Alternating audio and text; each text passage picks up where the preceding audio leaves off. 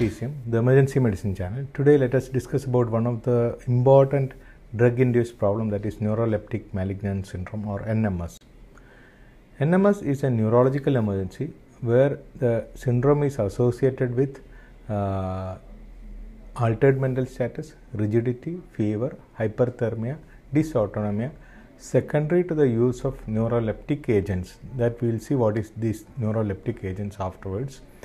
We can have same problem in serotonin syndrome. We can have almost similar problem in tetanus, but we'll differentiate how, uh, what are the uh, problems in each condition, and we can make a diagnosis of NMS.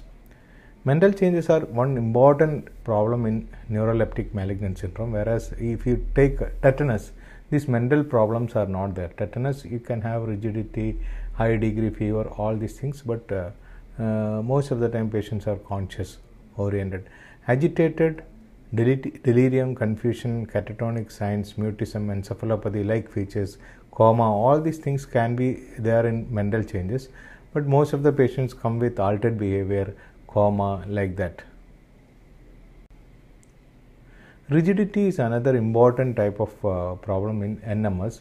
Uh, you get lead pipe rigidity throughout uh, all the limbs, throughout the movements, you get lead type of uh, rigidity. Uh, tremors uh, can sometimes present in patients. patient also can have dysautonomia, opisthotonus, trismus, chorea, other dyskinesias. So, uh, altered behavior, rigidity. Second problem is rigidity. Third one is high fever, hyperthermia. Temperature more than 38 degrees Celsius is very typical in neuroleptic malignant syndrome. Some patients can have very high temperature more than 40 degrees Celsius. There is a third important problem. So, altered behavior, rigidity, hyperthermia. Fourth problem is autonomic dysfunction. So, in ICU, if you admit these patients, you can monitor the patients and you can see the patient will have tachycardia, bradycardia, hypotension, hypertension, various type of uh, uh, combinations you can get in this type of patients. Now, we will see what is the pathogenesis of uh, NMS. It's a dopamine blockage occurring in the nerve endings. That is a main problem. this class of agents like neuroleptic drugs uh, dopamine receptor blockage is the uh, most important theory behind the pathogenesis of NMS. Central dopamine receptor blockage in the hypothalamus may cause hyperthermia and other signs of dysautonomia.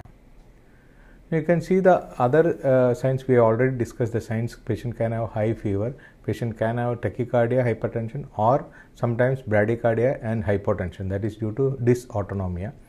Uh, common other presenting signs and symptoms patient is delirious, altered behavior, uh, coma and uh, sometimes uh, patient can sometimes have seizure also. Rigidity is one important sign. Lead pipe uh, rigidity is classical but if it is associated with tremors then it can be cogwheel also but mostly it is lead pipe rigidity. Other associated uh, findings like autonomic instability like tachycardia, hypertension, increased sweating, some part of the chest and bradycardia or hypotension, other types of uh, tremors, uh, movement disorders. Uh, dilated pupil is one important thing. It can differ. It is a.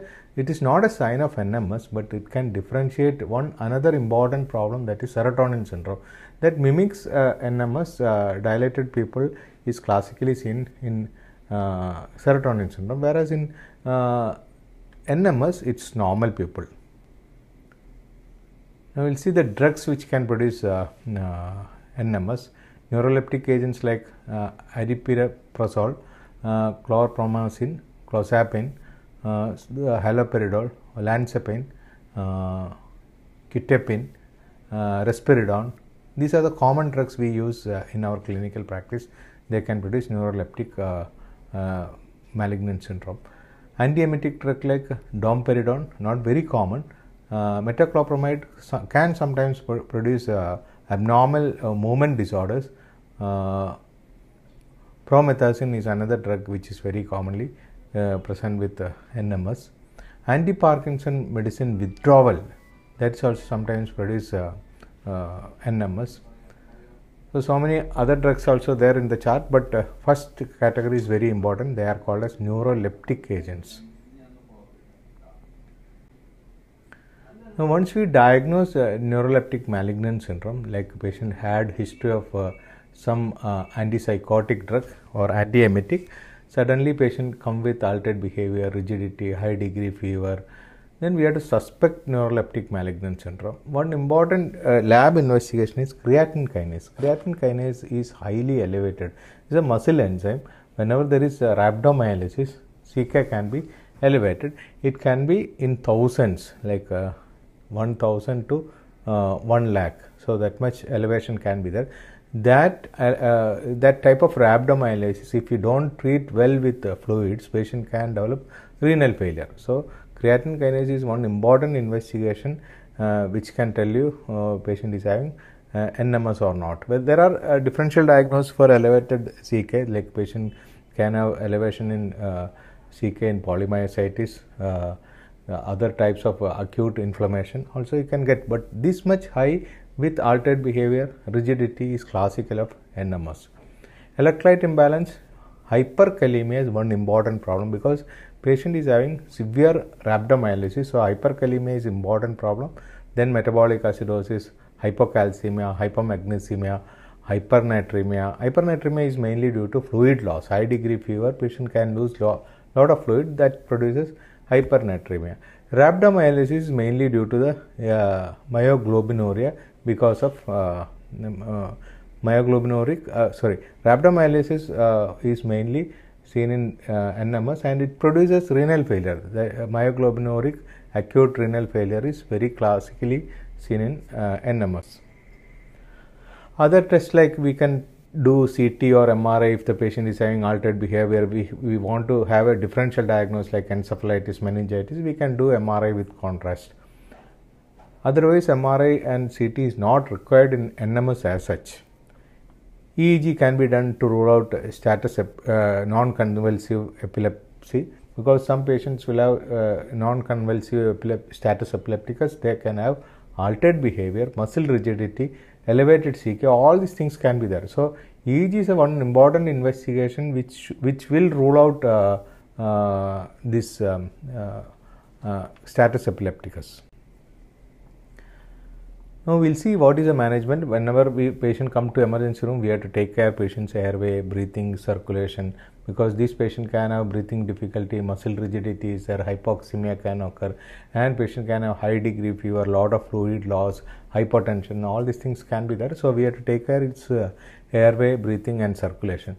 Then discontinue the medicine, whatever medicine he is taking, whatever uh, drugs he is taking for uh, like vomiting or antidepressive medicines. All these things should be immediately uh, stopped because we will not be knowing what medicine is causing this problem. And reduce the temperature by uh, giving paracetamol cooling blankets. Normally paracetamol will not work in nms because uh, the mechanism of fever is different. So there will be mild mild reduction in fever but uh, we can try for cooling blankets ice water uh, gastric lavage ice packs in the axilla. All these things we can try Clonidine can be tried in uh, patient who is having high BP uh, because uh, uh this uh, uh, this is an autonomic dysfunction induced hypertension and tachycardia. So clonidine can be tried there. Benzodiazepine, lorazepam can be tried if the patient is having agitation or altered behavior. You can sedate the patient with benzodiazepines. And fluid re- resuscitation is very important because most of these patients will have severe uh, volume loss and they can have hypotension, shock, renal failure, rhabdomyolysis induced renal failure. All these things, the treatment of choice is IV fluids. So you can start normal saline as a crystalloid. We can start normal saline 20 ml per kg and try to Im- improve the uh, uh, fluid status. We can check the IBC. We can check uh, renal output. So fluid maintenance is very important. Again, creatine kinase elevated uh, due to rhabdomyolysis and that induced renal failure. Treatment is volume resuscitation. Urine alkalization also can be helpful in patients who is having rhabdomyolysis. Now, patients with uh, uh, altered behavior uh, and uh, all this problem, we have to give heparin to prevent deep vein thrombosis. So, low molecular weight heparin or heparin should be started in patients who are admitted in ICU because the recovery may be slightly prolonged. So, we have to give heparin or low molecular weight heparin to prevent deep vein thrombosis. Now, one important drug which can reduce the temperature in NMS is bromocriptine. Ideal drug is dantrolene, but it is not available in most of the centers. So, dantrolene dose is uh, 0.25 milligram per kg to 2 milligram per kg IV every 6 hours. That is a dose of uh, dantrolene, but this drug is not available in many centers. But bromocriptine is widely available drug. It's a dopamine antagonist. 2.5 milligram uh, QID, that is every 6 hourly we have to give 2.5 milligram this bromocriptine that can control the uh, fever uh, temperature in NMS. So, this is the ideal drug should be used, but uh, according to textbooks it is second line drug. But in our country this drug is widely available, so we should use uh, bromocriptine to control the temperature. Other important issues we already discussed that patient can have severe dehydration that should be corrected, electrolyte imbalance like hyperkalemia should be corrected fast, otherwise cardiac arrhythmias can occur. Renal failure should be corrected with uh, fluids because it's rhabdomyolysis induced renal failure. Cardiac arrhythmias are mainly because of uh, electrolyte imbalance. Torsades de pointes can be there. Magnesium sulfate is a treatment.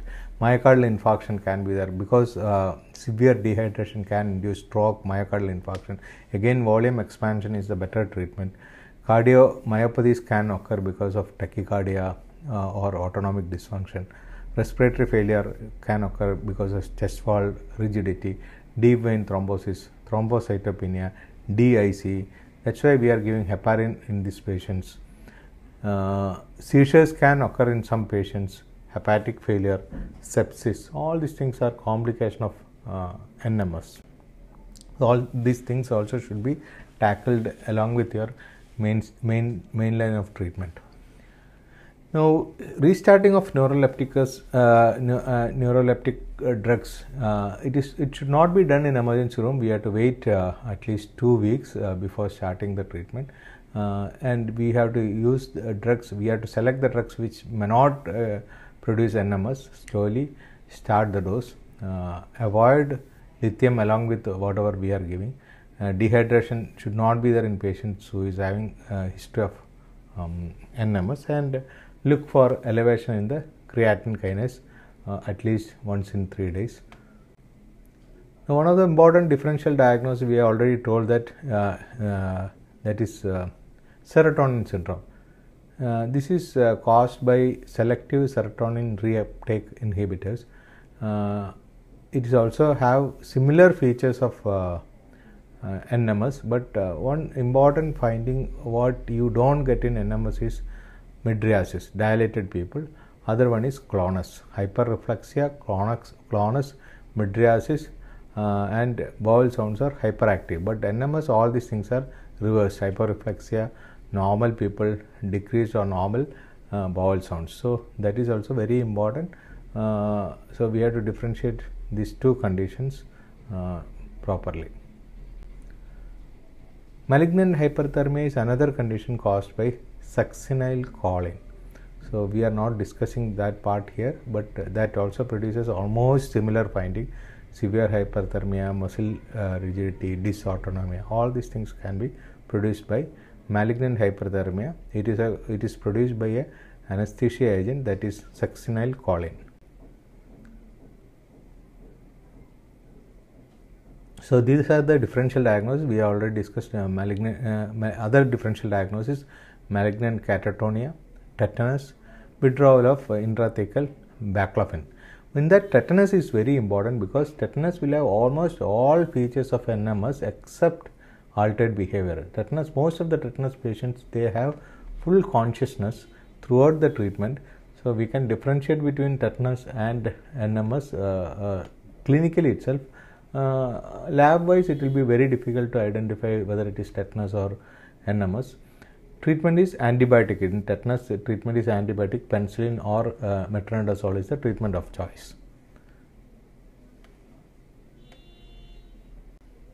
now this chart tells you uh, the differences between various conditions like serotonin syndrome anticholinergic syndrome, neuroleptic malignant syndrome, malignant hyperthermia. And look at the pupil, uh, that is very important in serotonin syndrome and uh, anticholinergic uh, syndrome. Pupils are large, whereas in NMS it is normal. That is one important clue uh, which can tell you that uh, this is NMS. But uh, rest of the things you can read from the chart. I am not discussing all these things. We have discussed about one of the rare but uh, very important drug induced problem. Uh, many a times we are missing it. We may not uh, uh understand whether it is NMS or something else. A patient can have after neuroleptic drugs like psychiatric drugs, uh, anti-Parkinson drugs, they develop severe muscle rigidity, elevated CK, rhabdomyolysis, renal failure, altered behavior, coma, convulsions, then high degree fever uh, and dysautonomia. Dysautonomia in ICU can present with tachycardia, bradycardia, hypertension, hypotension, increased sweating. Uh, we can use alpha blockers with beta blockers as a treatment for this one. Labetalol is a very good drug if the patient is having uh, uh, tachycardia, hypertension, uh, all these things. Labetalol can uh, act as a very good drug because it has got both alpha blocking activity and beta blocking activity. Thank you.